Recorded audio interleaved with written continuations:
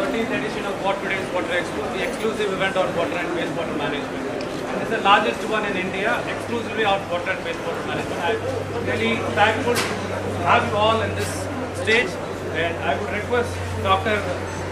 Shanmugam, senior scientist, CLRI, to inaugurate the function along with other dignitaries. Join us. sir.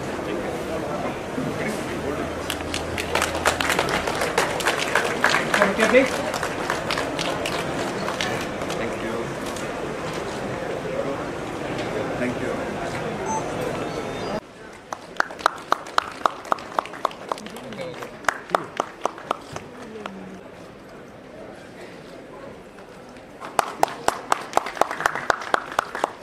Shanmugam MD of Water. Need a break. Uh, this is Water Today's uh, Water Expo 13th edition. We have been doing since uh, 2005. And uh, this is basically an activity which has been focused on water and wastewater management. And all the latest technologies, products, and the leading pers- personalities from the entire water industry from across the country and the globe are present here. And we have more than 200 stalls in which about more than 3000 products have been displayed here.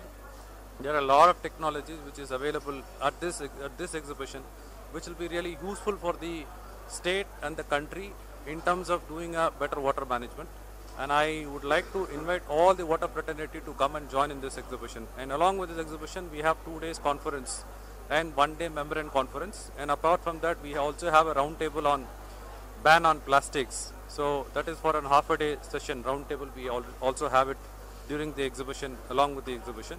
And uh, we expect somewhere close to about 15000 visitors across the country and globe to attend this water exhibition.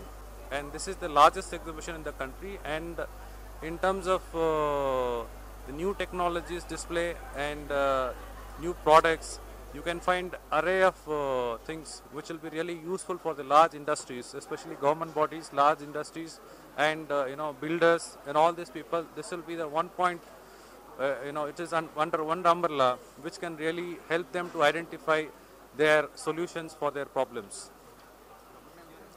My name is Shanmugam. I am the managing director of Water Today Private Limited, and we have offices across the country, plus in Bangladesh and Sri Lanka also.